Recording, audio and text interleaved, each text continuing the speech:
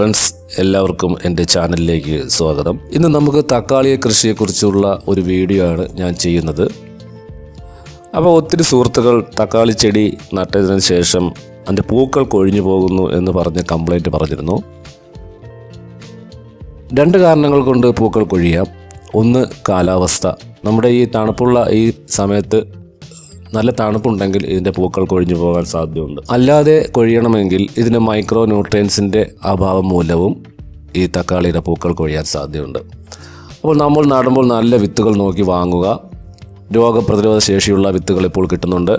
അത് വാങ്ങി രണ്ട് ശതമാനം വീര്യമുള്ള സ്യൂഡോമോണാസ് ലായനിയിൽ ഒരു പത്ത് മിനിറ്റ് മുക്കി വെച്ചതിന് ശേഷം മാത്രം വിത്തുകൾ നടാൻ ശ്രമിക്കുക. അതുപോലെ തന്നെ കുമ്മായം നമ്മൾ നടന്ന മണ്ണിൽ കുമ്മായം ചേർക്കാൻ മറക്കരുത്. അതിനുശേഷം മണ്ണ് മണ്ണിര കമ്പോസ്റ്റോ ചാണകപ്പൊടിയോ ഉപയോഗിക്കാം. പിന്നീട് ചാകരിച്ചോർ കമ്പോസ്റ്റ് അതുപോലെ വേപ്പിൻ പിണ്ണാക്ക് എല്ലുപൊടി ഇവയെല്ലാം ചേർത്ത് നമ്മൾ നടുകയാണെങ്കിൽ നല്ല രീതിയിലുള്ള ഒരു വിളവ് തന്നെ നമുക്ക് തക്കാളി ചെടിയിൽ നിന്നും കിട്ടുന്നതാണ്.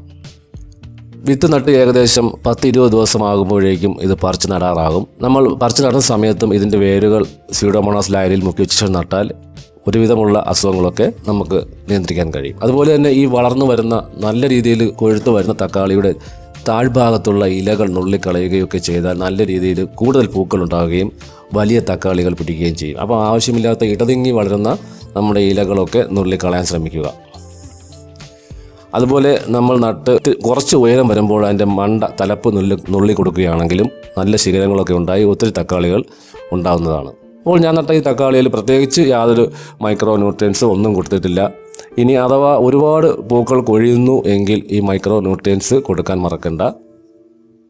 ഇപ്പോൾ എല്ലാ വളങ്ങൾ വിൽക്കുന്ന കടകളിലും കിട്ടുന്ന ഒന്നാണ് മൈക്രോ ന്യൂട്രിയൻസ് അത് വാങ്ങി നമ്മൾ ഇതിൽ സ്പ്രേ ചെയ്ത് കൊടുക്കുകയാണെങ്കിൽ നല്ല രീതിയിലുള്ള പൂക്കൾ ഉണ്ടാവുകയും നല്ല വിളവ് ലഭിക്കുകയും ചെയ്യും. അത് ഈ തക്കാളിയിൽ നിന്നല്ല എല്ലാ ചെടികളിലും ഒരു തരമുള്ള എല്ലാ ചെടികളിലും അത് ഉപയോഗിക്കാവുന്നതാണ്. ഗ്രീൻ സ്പർട്ടിന്റെ ഒരു മരുന്ന് കിട്ടുന്നുണ്ട് അത് ഉപയോഗിക്കാം. നിങ്ങൾക്ക് ഇഷ്ടമുള്ള മരുന്ന് നമുക്ക് ഈ കടകളിൽ കിട്ടുന്നുണ്ട്. ജൈവ രീതിയിലുള്ള മരുന്നുകൾ കിട്ടുന്നുണ്ട്. പിന്നെ നന നന്നായി നിലനിർത്താൻ ശ്രമിക്കുക. നന ഇല്ലാതെ വാടിപ്പോകുന്ന ഒരവസ്ഥ ഒരിക്കലും ഉണ്ടാകരുത്. എന്ന് വെച്ച് നല്ല രീതിയിൽ എപ്പോഴും വെള്ളം കെട്ടി നിൽക്കുന്ന രീതിയിലും ഉണ്ടാകരുത്. അങ്ങനെ ചെയ്താലും ഇതിന്റെ വേര് അഴുകിപ്പോകാൻ സാധ്യതയുണ്ട്. പിന്നെ ഫിഷ് അമിനോ ആസിഡ് ഒക്കെ ഒഴിച്ചു കൊടുക്കാം. അതുപോലെ കടലപ്പിണ്ണാക്ക് പുളിപ്പിച്ച് അത് ഒരാഴ്ചയിൽ ഒരിക്കൽ ഒഴിച്ചു കൊടുക്കാം. ചാണകവെള്ളം കലക്കി വെച്ചതിന് ശേഷം നേർപ്പിച്ച് ഒരു അഞ്ചിരട്ടിയോ ആറിരട്ടിയോ വെള്ളത്തിൽ നേർപ്പിച്ച് ഒഴിച്ചു കൊടുക്കാം. അങ്ങനെയൊക്കെ ചെയ്തു കഴിഞ്ഞാൽ തക്കാളി നല്ല രീതിയിൽ പിടിച്ചു കിട്ടുന്നതാണ്.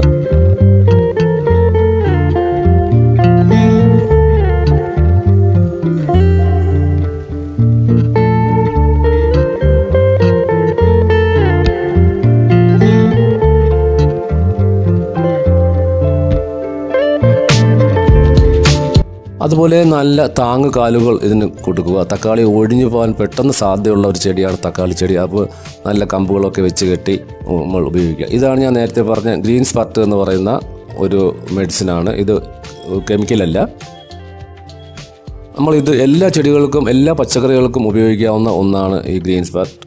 നല്ല രീതിയിലുള്ള വിളവ് കിട്ടുന്ന ഒന്ന കൂടിയാണ് ഈ ഗ്രീൻ സ്പർട്ട്. കൂടുതൽ പൂക്കൾ കൊഴിഞ്ഞു പോവുകയുമില്ല. ചെടി നല്ല രീതിയിൽ വളരുകയും ഒരുപാട് ഈൽഡ് ഉണ്ടാവുകയും ചെയ്യുന്ന ഒരു മെഡിസിനാണ് ഈ ഗ്രീൻ സ്പെറ്റ് എന്ന് പറയുന്നത്. അപ്പോൾ ഇത് മിക്ക കടകളിലും കിട്ടുന്നുണ്ട്. ഇത് വാങ്ങി നമുക്ക് ഉപയോഗിക്കാം. രാസ രീതിയിലുള്ള മൈക്രോ ന്യൂട്രിയൻസും കിട്ടും. അത് വേണമെങ്കിലും നമുക്ക് ഉപയോഗിക്കാം. നമ്മളെപ്പോഴും ജൈവ രീതിയിൽ കൃഷി ചെയ്യുകയാണെങ്കിൽ ഈ ഇങ്ങനെയുള്ള മരുന്നുകൾ മാത്രം വാങ്ങി ഉപയോഗിക്കാൻ ശ്രദ്ധിക്കുക. നമുക്ക് വിഷമില്ലാത്ത ഒരു പച്ചക്കറി നമുക്ക് വീട്ടിലുണ്ടാക്കിയെടുക്കാം. തക്കാളി അതുപോലെ തന്നെ ഈ പോളിനേഷൻ നടന്നില്ലെങ്കിലും പൂക്കൾ കൊഴിയാൻ സാധ്യതയുണ്ട്. അപ്പോൾ രാവിലെ നമ്മൾ ഇതുപോലെ ചെറുതായിട്ട് ഈ ചെടിയിലും തട്ടിക്കൊടുക്കുകയാണെങ്കിൽ ഇതിന്റെ പൂമ്പൊടികൾ വീണ് പരാഗണം നടക്കുകയും അങ്ങനെ ഈ പൂക്കൾ കൊഴിയാതിരിക്കുകയും ചെയ്യും. അതും ഒന്ന് ശ്രമിച്ച് നോക്കാവുന്നതാണ്. കൂട്ടുകാർ അതും നോക്കുക. അല്ലാതെ വേറൊരു രീതിയിലും തക്കാളി പൂക്കൾ കൊഴിയാൻ സാധ്യതയില്ല. എനിക്ക് ഒരുപാട് പേര് ഇങ്ങനെ ചോദിച്ചിട്ട് മെസ്സേജ് അയച്ചിരുന്നു. അതുകൊണ്ടാണ് ഈ വീഡിയോ ചെയ്തത്. ഞാൻ നട്ട ഈ തക്കാളികളൊന്നും അങ്ങനെയുള്ള ഒരു കംപ്ലൈന്റും ഇതുപോലെ എനിക്ക് ഇതുവരെ വന്നിട്ടില്ല. അതുകൊണ്ടാണ് ഞാൻ പറയുന്നത്. അങ്ങനെ വരികയാണെങ്കിൽ ഒന്നുകിൽ ഈ കാലാവസ്ഥയുടെ ഇതായിരിക്കാം. അല്ലെങ്കിൽ മൈക്രോ ന്യൂട്രിയൻസിന്റെ ന്യൂട്രിയൻസിന്റെ കുറവ് കൊണ്ടും അങ്ങനെ സംഭവിക്കാവുന്നതാണ്. പിന്നെ നമ്മൾ വാങ്ങുമ്പോൾ എപ്പോഴും നല്ല വിത്തുകൾ നോക്കി വാങ്ങുക. ഹൈബ്രിഡ് വിത്തുകൾ വാങ്ങുകയാണെങ്കിൽ നമുക്ക് നല്ല രീതിയിലുള്ള ഒരു ഈൽഡ് കിട്ടുന്നതാണ്. അപ്പോൾ ഹൈബ്രിഡ് വിത്തുകൾ ഇല്ലാത്തവർക്ക് നാടൻ വിത്തുകളും ഉപയോഗിക്കാം. നമ്മൾ വാങ്ങുന്ന തക്കാളി നട്ടാൽ പോലും നമുക്ക് തക്കാളി തൈകൾ ഉണ്ടാക്കിയെടുക്കാനും ചെടി തക്കാളി കിട്ടുവാനും സാധിക്കും. പക്ഷേ ഹൈബ്രിഡ് വിത്തുകൾ ഉപയോഗിക്കുകയാണെങ്കിൽ നമുക്ക് ഒരു ചെടിയിൽ നിന്ന് തന്നെ ഒരുപാട് തക്കാളികൾ കിട്ടുകയും അങ്ങനെ കുറച്ച് സ്ഥലത്ത് നിന്നും കൂടുതൽ വിളവ്. അതാണ് നമ്മുടെ ഹൈബ്രിഡ് വിത്തുകൾക്കുള്ള ഒരു ഗുണം എന്ന് പറയുന്നത്.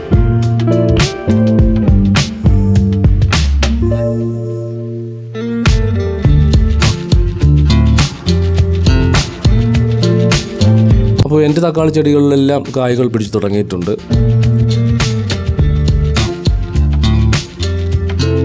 കഴിഞ്ഞ വർഷവും ഒരുപാട് തക്കാളി നട്ടു അതെല്ലാം കിട്ടിയിട്ടുണ്ട്. ഇപ്പോഴും ഒരു കുഴപ്പമില്ലാതെ തന്നെ തക്കാളി ചെടികൾ പൂവിടുന്നുണ്ട്. ഞാൻ വേറെ വളങ്ങളൊന്നും അങ്ങനെ പ്രത്യേകിച്ച് കൊടുക്കാറില്ല രാസവളം ഉപയോഗിക്കാറില്ല ജൈവ രീതിയിലാണ് എല്ലാ കൃഷികളും ഞാൻ ചെയ്യുന്നത്. നമുക്ക് ഒരാഴ്ചയിൽ ഒരിക്കൽ ചാ ഇന്നിപ്പോൾ ഒരാഴ്ചയിൽ ഒരിക്കൽ ചാണകം കൊടുക്കുകയാണെങ്കിൽ അടുത്ത ആഴ്ച ഫിഷ് അമിനോ ആസിഡ് കൊടുക്കുക അതിന്റെ അടുത്ത ആഴ്ച നമുക്ക് വേപ്പും പിണ്ണാക്കും കടല പിണ്ണാക്കും ഒക്കെ പുളിപ്പിച്ചത് ഒഴിച്ചു കൊടുക്കാം. അങ്ങനെയൊക്കെ ചെയ്തു കഴിഞ്ഞാൽ നല്ല രീതിയിലുള്ള വിളവ് നമുക്ക് ഈ പച്ചക്കറികളിൽ നിന്നും പ്രതീക്ഷിക്കാം. ഈ തക്കാളി എന്നല്ല എല്ലാ പച്ചക്കറികൾക്കും നമുക്ക് അങ്ങനെ ചെയ്തു കഴിഞ്ഞാൽ നല്ല രീതിയിലുള്ള വിളവ് പ്രതീക്ഷിക്കാം. പിന്നെ നടുന്ന സമയത്ത് മണ്ണ് ട്രീറ്റ് ചെയ്ത് നടുക അതുപോലെ കുമ്മായം ചേർക്കാൻ മറക്കരുത്. തക്കാളി ഒരു വാട്ടരോഗം പെട്ടെന്ന് പിടിക്കുന്ന ഒരു ചെടിയാണ് തക്കാളി ചെടി അതുപോലെ വഴുതന ഒക്കെ. അപ്പോൾ കുമ്മായം ചേർക്കാൻ ഒരിക്കലും മറക്കരുത്. തക്കാളിയിലും വഴുതനയിലും കുമ്മായം ചേർത്ത് മണ്ണ് അതിന്റെ ആ രാസ രാസഘടന ക്രമീകരിച്ച ശേഷം മാത്രം നമുക്ക് നടാൻ ശ്രമിക്കുക. പിന്നെ ബിവേറിയ വെറ്റിസീലിയം തുടങ്ങിയ കീടനാശിനികൾ കിട്ടുന്നുണ്ട്. അത് നമുക്ക് വേണമെങ്കിൽ ഉപയോഗിക്കാം. അതൊക്കെ നട്ട് നടന്ന ആ സമയത്ത് തന്നെ നമ്മൾ ഉപയോഗിച്ച് കഴിഞ്ഞാൽ ഒരു കീടങ്ങളും ഇതിനെ ഒന്നും ആക്രമിക്കുകയില്ല. വെള്ളീച്ചയുടെ ശല്യം ഒരുപാട് ഉണ്ടാകുന്നുണ്ട് തക്കാളിയിൽ. അപ്പോൾ അതിന് വേണമെങ്കിൽ വേപ്പെണ്ണ സോപ്പ് എമൽഷൻ നമുക്ക് ഉപയോഗിക്കാം. അല്ലെങ്കിൽ ഞാൻ നേരത്തെ പറഞ്ഞതുപോലെ വെറ്റിസീലിയം തുടങ്ങിയ ലക്കാനി അങ്ങനെയുള്ള മിത്ര കുമ്പിളുകൾ നമുക്ക് ഉപയോഗിക്കാവുന്നതാണ്. ഈ സാധനങ്ങളൊക്കെ ഇപ്പോൾ എല്ലാ ചെടി വിൽക്കുന്ന കടകളിലും വളങ്ങളും വിത്തുകളും ഒക്കെ വിൽക്കുന്ന കടകളിലൊക്കെ കിട്ടുന്ന സാധനങ്ങളാണ്.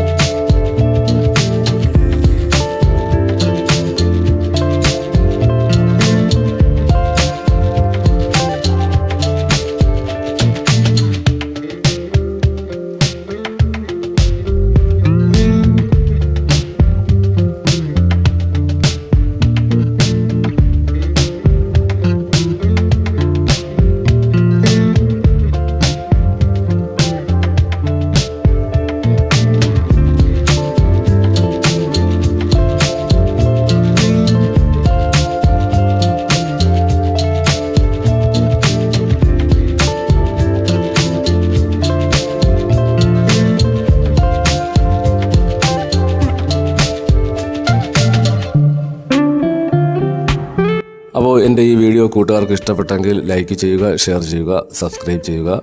ഇനിയും അടുത്ത വീഡിയോ കാണുന്നതുവരെ എല്ലാ കൂട്ടുകാർക്കും നല്ലൊരു ദിവസം ആശംസിച്ചുകൊണ്ട് നിർത്തുന്നു. നന്ദി നമസ്കാരം.